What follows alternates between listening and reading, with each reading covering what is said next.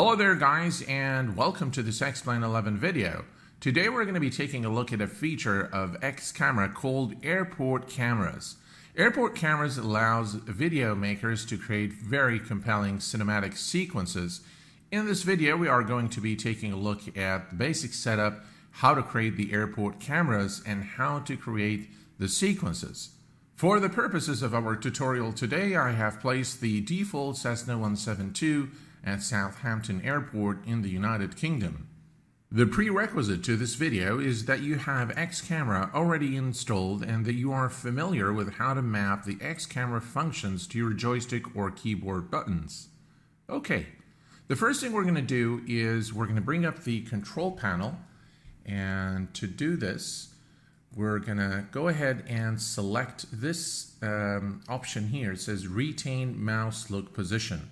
Now what this does is that you, it will enable you to use your mouse wheel uh, control to pan through the aircraft. As you can see, I can pan similar to what you use with the um, right mouse button uh, without X camera to, to pan around the view.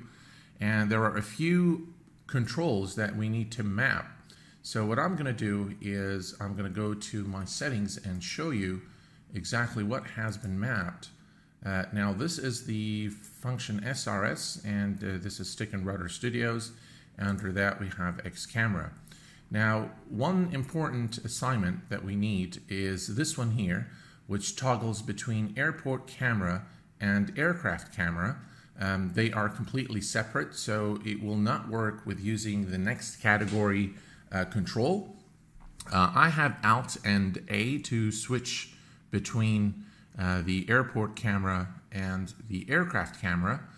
And when we go to the joystick assignment, let's go here. All right, so I have several um, controls. I'm not going to show you exactly what I've done here, but I'm going to show you what assignments I've made. So this number four um, control, um, going down, it will toggle the walk mode. Uh, this is very, very important and very useful feature Moving up, it will move the camera with the mouse in rotate pitch fashion. Going to the um, left, uh, it's going to move the camera with the mouse in the left, right, up, down fashion. And going to the right, it's going to move the camera with the mouse in a left, right, forward, back fashion. We'll take a look at what those do in, in a moment. So these are the basic control that I have. I also have the other hat switch here, number five, doing the following. Moving it up will toggle the control panel on or off. Moving it down will toggle X camera on or off. The left position will select the next camera in the current category and moving it to the right will select the next view category. All right?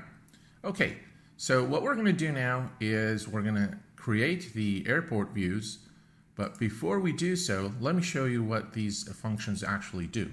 So if I go to the right now, uh, to the left, I can move in this fashion, upwards and downwards.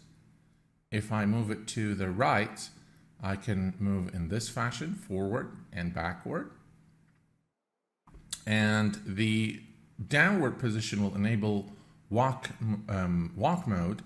Uh, so if I enable it, and I start moving the, uh, the controls now, as you can see, it will just keep going. There you go.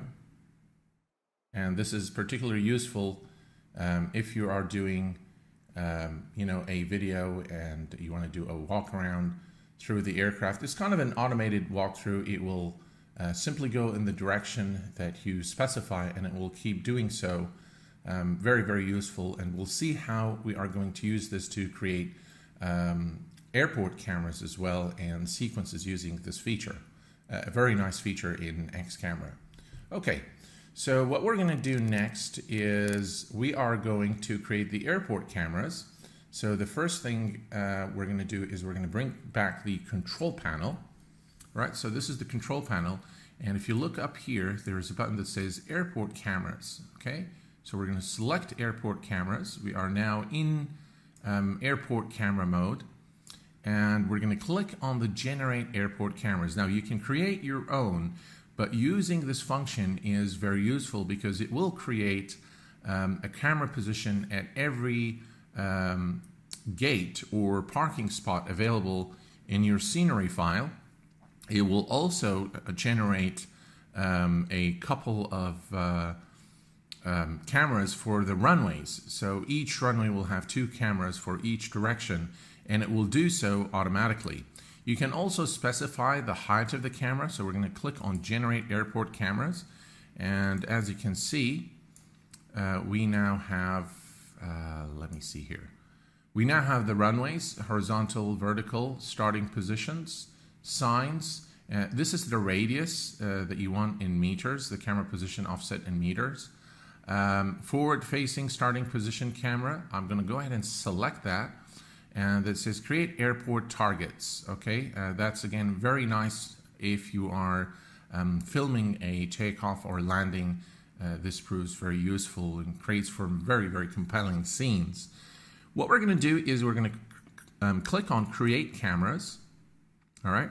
Now, as you can see, we have three categories that have been created starting locations, viewpoints, and runways. Okay, let's go and move to the starting locations. And as you can see, there are 10 cameras that have been created. Now you can cycle through these here, all right? Or you could use your next category, next camera in the category. So we'll do that here, for example. As you can see, we can cycle through um, the different uh, positions. Or we could go to the next category. So this is, for example, the uh, this is these are the two runways available at Southampton Airport. All right. Okay. So what we'll do now is we're going to start creating sequences. And as you can see, we're going to start with this. Now we don't need all these positions. So we don't definitely don't need to create the sequences for all the positions, but we'll create them for some. Okay, let's bring, bring back the control panel. We are at gate two. This is the first camera position. And we're going to select a couple of options here. One says linear transition, auto advance to next camera, and enable smooth camera joints. Okay. Now the transition in seconds is very, very important. Uh, I'm going to select 10, but you might need to actually play with this number a little bit uh, to create the desired effect. So we're done now with this first um, gate or the first camera view. We're going to go to the second one and we're going to uh, select exactly the same options, enable linear transition, auto advance, enable smooth camera joints, and we're going to enter transition seconds to be 10. And now we're going to move to the next one. So this is the third position, enable linear, auto, smooth camera joins, transition is 10 seconds. And now we're going to say save all. Now, if you go back, as you can see, you can see the sequence now and how the camera actually moves. Um, and this is how you'd create uh, those really beautiful cinematic sequences. So what we can do here is we can change, as you can see now, I'm changing the, uh, uh, we can go up maybe. Uh, we can go slightly in and we can change the, can make it so that it's uh, further down here. And we can go there. All right. And we'll say save all. And now if we go back to the camera position, as you can see, the sequence has completely changed or the actual cinematic has changed because now the camera has to move upwards towards the next position. All right, so what we'll do now is we're going to create some more uh, of those transitions. Uh, this is uh, camera 4, and we're going to add um, smooth, uh, linear, advance, enable, and we're going to add 10 seconds for the transition and we're say save and we can actually delete the rest uh, let's go to camera 5 so we're going to delete camera 5 and we're going to delete uh, we'll leave that one and we're going to add smooth linear uh, lean, oh, sorry, linear auto enable with 10 seconds. And we're going to move to camera 6. That one we, are, we don't need. Uh, we're going to go ahead and delete. Uh, 6 we're going to delete. Camera 7 is the one that we are going to use. And again, we're going to add linear transition, enable auto advanced camera, enable smooth camera, and we'll add 10 seconds to that as well. And we're going to say save. Let us now take a look at the sequence that we've created. And we started from the last camera position all the way to camera number one. And as you can see now, the sequence um, is very smooth. It looks very nice. It shows you the airport. And of course, you can always add um, a um, you know some kind of music to uh, make the uh, scene or the uh, video more dramatic. Again, in, in those uh, smooth um, you know camera movements or the transition between one camera to the other is the um, smooth camera joints. If you remove that, you might get a short pause uh, between the uh, the different camera views.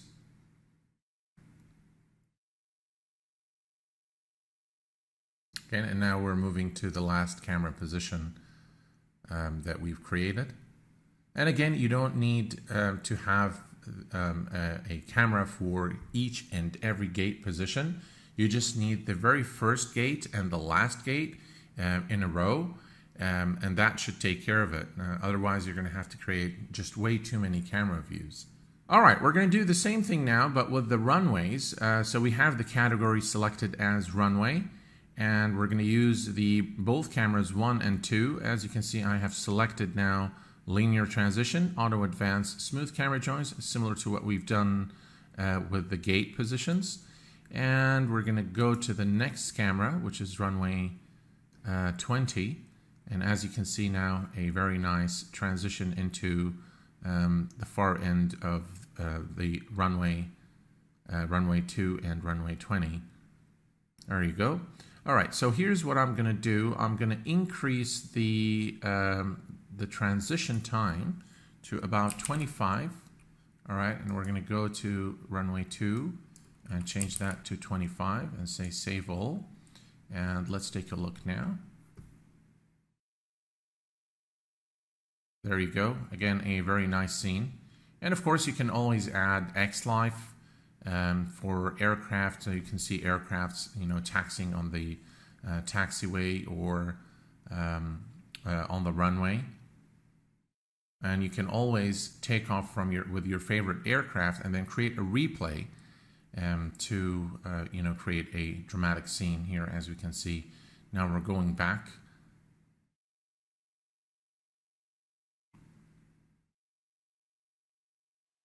The next thing I want to show you is how to use the walk around mode uh, to create those really nice sequences as well. Now the walk around mode is uh, especially useful uh, when you're actually taking a look at the aircraft similar to what I've showed you in the beginning of the video but you can actually use it uh, as well. For example, we are here at the uh, uh, at the runway, runway 20, and I'm going to enable the walk around mode and I'm going to start moving the mouse and as you can see now, we started moving very slowly and we can actually move in any direction we want.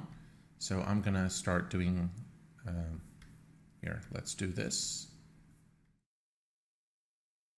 So a little bit of tilt.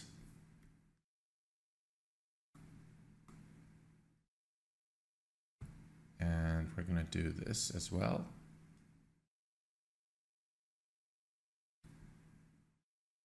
Now you can see that we're changing direction. And this is particularly useful again if you want slow motion camera to just kind of, you know, go through uh, a certain area. And now as you can see, we started moving. This is the walk around mode. Now the walk around mode is uh, is most useful, of course, when you're doing, um, you know, the aircraft, uh, walk around around the aircraft. But you can also use it uh, to create a slow motion camera uh, in you know a direction of your preference uh, to create again some very dramatic scenes. Let me show you just very quickly um, how does this work for the aircraft. So if I click Alt and A, I'm back into the aircraft cameras. Uh, and if I click Alt and A again, I will go back to the airport cameras. So let me show you very quickly what the walk around mode looks like when you are um, looking at an aircraft.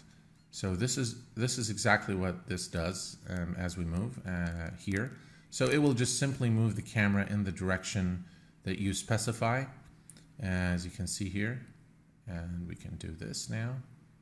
Again, a very useful feature if you are doing a walk around. You can always, of course, create different camera views and create sequences uh, similar to what we did with the airport cameras. Uh, but this is again available to you if uh, you just simply want to um, talk about the aircraft and just have the camera pan around it in in slow motion. Uh, you can do that uh, very easily with the walk around mode. It's very nice, very smooth. Uh, X Camera is a very powerful plugin uh, for X-Plane 11. I sure do hope that they will work on the interface uh, because it is a little bit complicated um, as we speak now. Uh, but hopefully, with time, it will um, it will improve. Uh, especially the user interface, I think needs needs some work to make it a little modern, to make it a little more usable and uh, user friendly. But by far, the most powerful camera plugin for X-Plane 11. Well, folks, this is pretty much what I wanted to share with you in this video. I hope that this was a useful and insightful video. If you have any questions, please do post them in the comments section below. Until next time, please take care of yourselves and each other, and I will see you all very soon. Thanks for watching, and bye-bye for now.